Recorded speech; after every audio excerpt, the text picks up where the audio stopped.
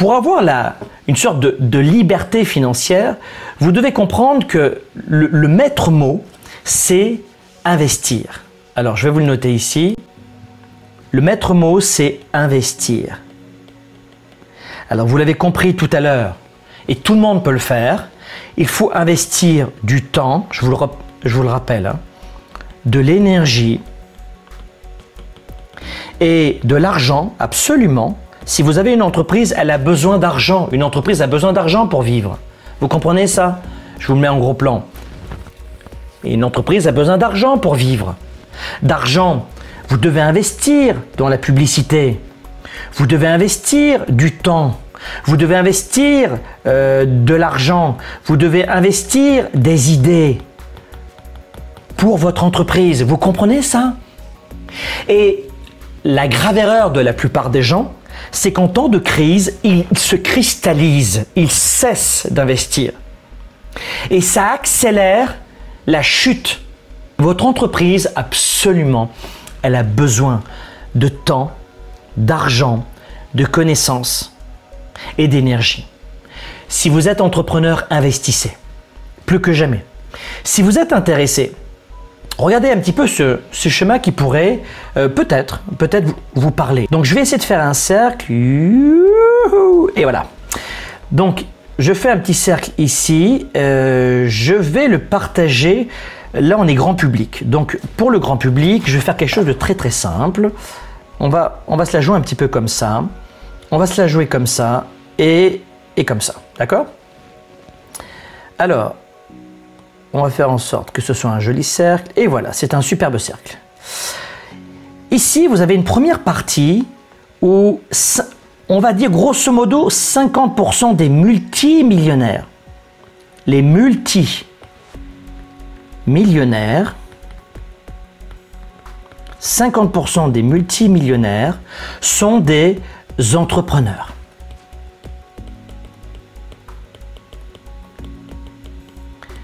Les multi, j'ai dit, pas juste un million, d'accord? Il y a plus de gens millionnaires qui sont salariés, mais multimillionnaires, ce sont souvent des entrepreneurs. Donc, si on devait prendre une première petite couleur, histoire d'être euh, dans le juste. Voilà, ici, grosso modo, dites-vous que 50% des multimillionnaires sont des entrepreneurs. Si on prenait peut-être une autre couleur, ici, on va prendre un bleu, là, un 20%, 20% ici, ce sont euh, des gens qui investissent. Alors, je, vais écrire plus court, hein, parce que sinon on ne va pas s'en sortir. Ce sont des gens qui investissent en bourse. La bourse, multimillionnaire en général, c'est 20% de la, euh, de, la population des multimillionnaires dans le monde. C'est-à-dire qu'ils ne sont pas forcément entrepreneurs, ça peut être des gens qui investissent simplement en bourse. Et si vous regardez, en prenant peut-être une autre petite couleur, hop, ici, voilà. Là aussi, vous avez une autre partie qui est intéressante. Ça, ce sont des hommes et des femmes qui ont, euh, euh, avec un, un emploi à fort salaire. D'accord? Donc déjà, des, hommes et des femmes qui sont en général à plus de 100 cas par année. Plus de 100 cas par année. Et ça, c'est 15% ici, si vous voulez. Et puis vous avez un autre 15%. Alors, je vais tenter de trouver une autre petite couleur encore. Du violet. Voilà. Ici, c'est 15% dans l'immobilier. On aurait tendance à croire que c'est beaucoup plus, c'est à peu près 15% de la population en général. Donc, si vous regardez dans le monde aujourd'hui, je parle, pour, être très honnête, je parle beaucoup de l'Occident quand même. Hein. je ne suis pas un spécialiste de l'Asie. Aujourd'hui, si vous regardez bien dans le monde, on a à peu près cette répartition qui est intéressante. 50%. Alors, est-ce qu'on peut être entrepreneur dans l'immobilier? Absolument. Et là, vous rentrez. Euh, imaginons, vous montez. Vous savez que dans l'immobilier, euh, vous avez euh, plusieurs façons de faire de l'argent dans l'immobilier.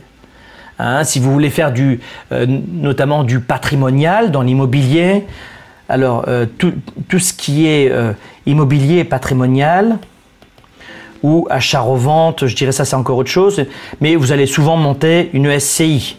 Hein, je parle pour les Français ici, c'est encore autre chose. Si vous voulez faire du, une activité de marchand de biens,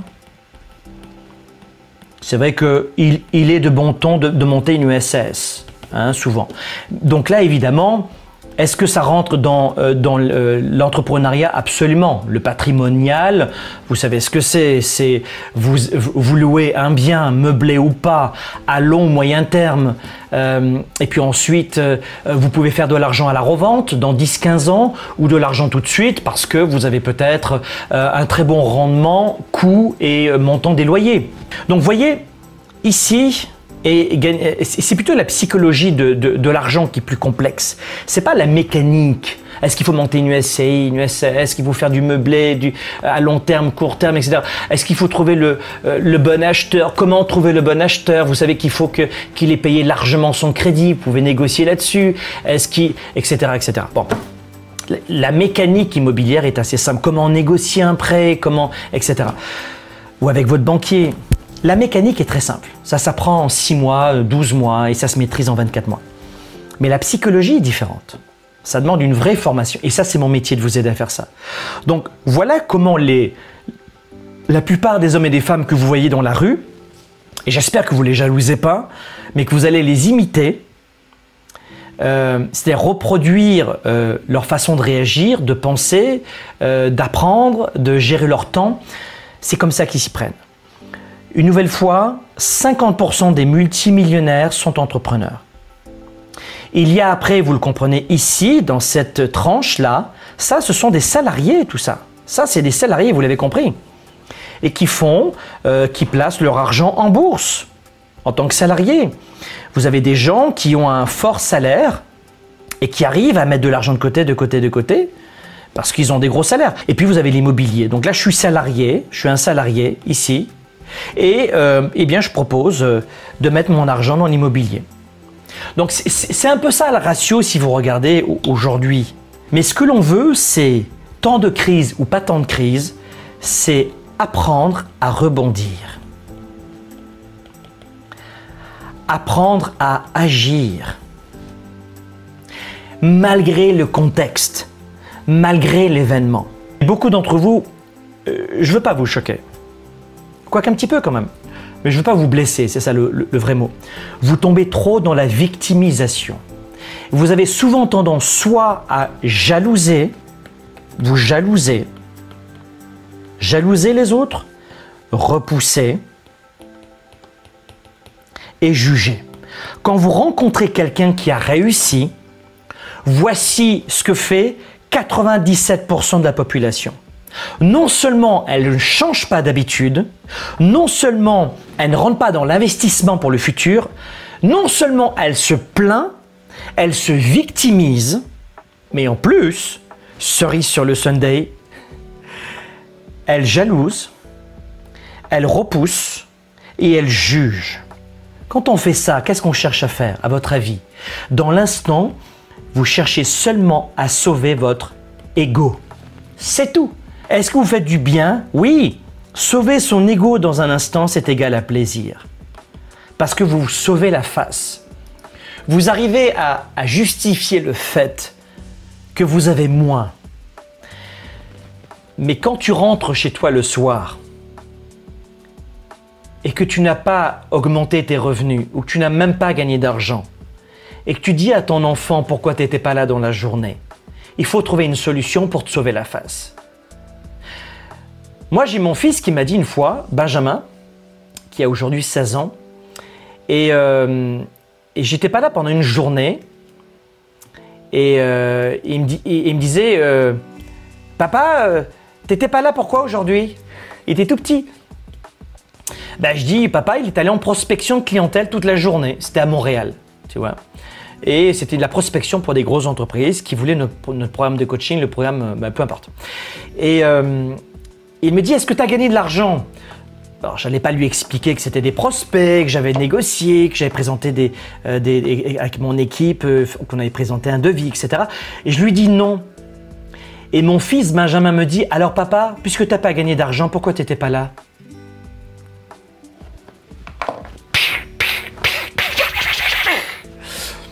C'était très intéressant, sa façon de voir la vie. c'est que ben, reste avec moi, joue avec moi si c'est pour pas gagner d'argent. Ça sert à rien. Donc, ce que, je vais vous dire, c'est que il y a quand même des situations dans lesquelles on peut se dire est-ce que ça vaut le coup? Est-ce que ça vaut le coup finalement de, sauver sans arrêt, sans arrêt la face et de, de préserver son ego en permanence au lieu de voir les choses telles qu'elles sont, mais pas pire, et de se dire peut-être que euh, ouf, euh, bon là je me suis pris euh, une grande baffe, c'est vrai, mais peut-être que je devrais après tout retravailler mes stratégies et agir. Et pas forcément toujours sauver mon ego. Et aujourd'hui, si on regarde très simplement, faites une planification à 5 ans pour la liberté financière. Une, liberté financière, ne croyez pas que ça, se fait, va se faire en quelques semaines. Souvent, c'est du, je dirais, du, du 5 ans. Et qu'est-ce que vous allez faire l'année 1, l'année 2, l'année 3, l'année 4. Et ça, ce ne sont que des stratégies, que des stratégies. Mais pour cela, vous allez d'abord besoin d'augmenter vos revenus. Il vous faut plus d'argent. Vous comprenez? Nous sommes dans un monde où on nous fait croire que d'avoir de l'audace et de rêver, c'est ridicule. On nous fait comprendre que c'est nous les gens fous, que c'est nous les gens déraisonnables. On nous fait comprendre qu'on est stupide, on nous montre du doigt parce qu'on ose rêver, parce qu'on ose voir grand, parce qu'on ose euh, créer une entreprise, parce qu'on ose se former, parce qu'on ose vouloir plus, parce qu'on ose ne pas vouloir se contenter de ce que l'on a. La plupart des gens vont vous dire contente-toi de ce que tu as. Il n'y a rien de pire connerie. Contente-toi de ce que tu as. Euh, vraiment mais, mais, mais mais j'ai pas envie de, de me contenter de ce que j'ai. J'ai pas envie de ça. Et beaucoup de gens sont dans, dans, dans, cette situation où, où ils, doutent et ils rejoignent le troupeau. Vous comprenez? Ne croyez pas que ce sont toujours les, C'est pas parce que la majorité va dans le même sens qu'elle a raison. 97% des gens, au moment de la retraite, dépendent de l'État ou de leur famille pour survivre. J'ai pas dit pour vivre, j'ai dit pour survivre. C'est pas pareil. À la moindre augmentation de leur pouvoir d'achat, baisse de leur pouvoir d'achat et augmentation des biens à la consommation, ils ne peuvent plus rien faire, même pas un seul voyage par an pour profiter de la vie, en fin de vie parce qu'il n'y a eu aucune planification financière avant, mais ils ont suivi le troupeau, la masse. Alors peut-être que ça faisait pas de sens ce que je vous disais aujourd'hui, mais trouvez des formations, et je vais vous, euh, je vais vous annoncer le programme mentorat dans un instant. Ça peut être une solution pour vous si vous êtes entrepreneur. Si vous n'êtes pas entrepreneur, ça ne vous intéressera pas. Mais trouvez une solution euh, nous, on a le programme Finance Libre, qui est pour tout le monde, pas que pour les entrepreneurs. Il y a plein de formations. Allez voir sur le web, prenez des livres. Déjà, je vous recommande vraiment, parce que la confiance en, la confiance en soi, c'est vraiment euh, essentiel. Mais tous, je vous recommande de pouvoir lire ce livre. Si vous ne me connaissez pas, prenez ce livre. S'il y a quelqu'un qui ne me connaît pas, offrez-lui ce livre. Offrez un livre à 20 balles. Et vous allez sauver la vie de plein de gens. Euh, sauver la vie ou aider plein de gens. Il y a des gens qui ont lu une seule page de ce livre et qui sont repartis en business. Il est important de sortir de la prudence étouffante. Offrez ce livre, 20 balles, 18 euros sur Amazon. Come on Offrez ce livre, d'accord? Donc, peu importe la solution, un livre à 20 balles ou une formation, mais qu'est-ce qu'il faut faire la première année, la deuxième année, la troisième année, quatrième et cinquième année? Et moi, ce que je vais vous proposer, dans quelques semaines, je ne sais pas quand, hein, je, vais en parler avec mes équipes, mais il y a énormément beaucoup de gens qui me demandent le retour du programme Mentorat. Le programme Mentorat, c'est je vais passer six semaines avec vous. C'est six semaines. Six semaines. Une heure par semaine ensemble. C'est en direct. Je suis avec vous.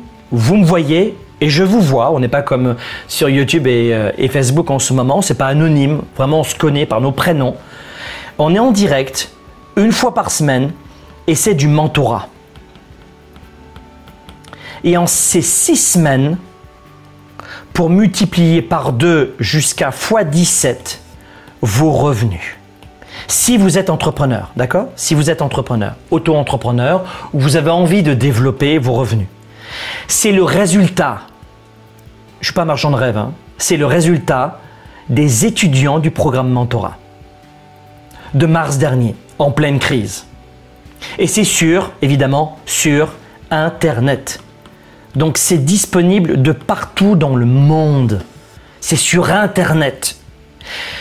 Une nouvelle fois, ce n'est pas un programme pour tout le monde, le grand public pour tout le monde, entrepreneurs et salariés, prenez ce livre à 20 balles et ça fera votre bonheur. Mais pour celles et ceux qui veulent aller plus loin, prenez quand ça va se présenter et préinscrivez-vous aux listes d'attente. Euh, il n'est pas ouvert, c'est la deuxième session, fin août. Prenez le train en marche ou ne le prenez pas, mais ça s'appelle le, et vous pouvez aller en ligne et vous vous préinscrivez. Et quand je le relance, je t'envoie un courriel. C'est programmementora.com. C'est très simple à retenir. .com. Va sur programmementora.com maintenant. Je te mets le lien ci-dessous pour la rediff. Et préinscris-toi. Et quand on va se retrouver en direct, eh bien pendant six semaines, si tu l'acceptes, enfin si tu ne me connais pas, tout le monde est numéro un. Euh, tout le monde a coaché 7000 personnes dans une salle, a écrit des livres et je suis auteur euh, best-seller de 7 à 8 programmes audio, vidéo euh, et livres. Mais je comprends que vous ne pouvez, vous, vous pas confier votre avenir, vous engager dans un programme si vous ne me connaissez pas. Donc c'est pour ça que prenez plusieurs, euh, plusieurs jours pour aller sur Internet, pour voir mes vidéos, euh, pour voir quelle est ma valeur. Hein. Peut-être que je donne des conseils, mais je les invente. Peut-être que je suis euh, pauvre moi-même et dans la galère. Peut-être que j'ai pas du tout accompli ce que je vous dis. Peut-être que renseignez-vous qui je suis, parce qu'il y a beaucoup de charlatans sur Internet, énormément qui lisent un livre, une page, et ils ressortent, ils se disent experts. Donc renseignez-vous simplement qui je suis. Mais si vous êtes un entrepreneur, si vous êtes un entrepreneur, allez, j'économise pas sur les mots, hein. euh, ou auto-entrepreneur, hein, ça veut dire seul, ou alors si vous voulez devenir auto-entrepreneur dans les 18 prochains mois, préinscrivez-vous. Et je vais vous dire pendant 6 semaines quoi faire exactement. Donc allez dès maintenant sur programmementora.com, préinscrivez-vous je vais ouvrir les inscriptions comme on l'a fait la dernière fois, juste quelques heures, quelques jours. Et ensuite, je vais m'occuper de centaines d'entrepreneurs comme vous. Ils étaient dans 67 pays la dernière fois. Vous ferez partie d'un groupe Facebook privé. Vous allez faire du business ensemble. Vous allez partager ensemble et, vous, et rencontrer des amis dans plus de 50 pays dans le monde. C'est certain que ça va vous demander un peu d'énergie, six semaines, un peu de temps, oui, il faudra travailler, il faudra affronter vos peurs parce que je vais vous demander de passer à l'action. Je vais vous demander de faire de la publicité, de faire du marketing, d'appeler des clients, de dire ça à vos clients, de faire ce type de marketing, comment vous faire connaître, comment partir de zéro, même si vous n'avez pas de liste mail, si vous n'avez jamais fait d'entrepreneuriat, si vous êtes auto-entrepreneur depuis des années mais que vous stagnez, je vais vous dire comment casser la bulle, comment sortir du plateau, je vais vous dire quoi faire. Quand vous êtes employé, un employé ici, donc employé, employé et entrepreneur. Un employé, en général, il a un seul client. S'il paie, et son client, c'est égal à son boss. Dites-moi, est-ce que vous comprenez le principe? Un employé, il a un seul client c'est son boss, c'est son entreprise. Vous êtes d'accord avec ça? Quand vous êtes entrepreneur, vous avez des centaines de clients. Qu'est-ce qui s'est passé dans la crise avec la plupart des gens? Qu'est-ce qui s'est passé à votre avis? Eh bien, la plupart des gens pendant la crise ont perdu leur unique client. Vous comprenez? La plupart des gens choisissent le salariat parce que dans leur tête, c'est égal à sécurité. C'est pour ça qu'ils choisissent le salariat. Souvent, pas uniquement parce qu'ils n'ont pas l'état d'esprit. Souvent, ça peut être un manque de confiance en soi aussi. Ou simplement, c'est pas fait pour eux. Est-ce que l'entrepreneuriat est fait pour tout le monde? Absolument pas. L'entrepreneuriat n'est pas fait pour tout le monde. Absolument pas. Mais d'avoir une petite activité d'entrepreneur à côté, ah, c'est fait pour tout le monde. De pouvoir ajouter du beurre dans les épinards, ah, c'est fait pour tout le monde. L'entrepreneuriat à temps plein, ce n'est pas fait pour tout le monde. Donc je viens de répondre notamment et très simplement à votre question. En temps de crise, je vous recommande d'augmenter vos revenus. La meilleure façon d'augmenter ses revenus, c'est comme je vous l'ai dit ici, c'est d'avoir une activité d'entrepreneur. À côté de votre emploi principal, ça peut être un petit blog, un petit site internet, faire du vide-grenier, euh, vendre un produit qui ne vous appartient pas et le revendre. Ce qui permet le plus d'augmenter les revenus aujourd'hui, c'est la vente. Dans le programme Mentorat, si vous n'avez jamais fait de vente ou si vous n'avez pas de résultats suffisants dans vos ventes, je vais vous aider. C'est l'un des modules de Mentorat. Dans Mentorat, je vais vous aider à faire euh, pendant un module le marketing, les ressources humaines, choisir des consultants, choisir des pigistes, choisir des employés, à, euh, à, gérer vos finances, à gérer votre clarté, ce que vous devez faire. Vous allez adorer pendant six semaines ce pratico-pratique. Le mentorat, c'est pas de la formation, c'est voici ce que je fais en détail 1, 2, 3, 4 et fais-le cette semaine. Fais-le 1, 2, 3, 4. Mais je sais pas, j'ai jamais fait. Regarde 1, 2, 3, 4. T'as compris? 1, 2, 3, 4. Ah oui, c'est bon. Et fais-le maintenant cette semaine. Et on se retrouve la semaine prochaine. C'est ça, mentorat. Vous allez y arriver. N'abandonnez pas. Euh, l'échec n'existe quand on a jeté l'éponge. Tant que vous n'avez pas jeté l'éponge, sur une carrière, vous pouvez perdre un, match de boxe. Mais euh, votre ceinture, vous allez la voir. Mais retournez sur le ring, boum. Retournez sur le ring, boum, boum, boum. Retournez sur le ring. Avancez, avancez. Et puis ça va marcher. Et puis vous allez y arriver. Et moi j'ai confiance. À bientôt.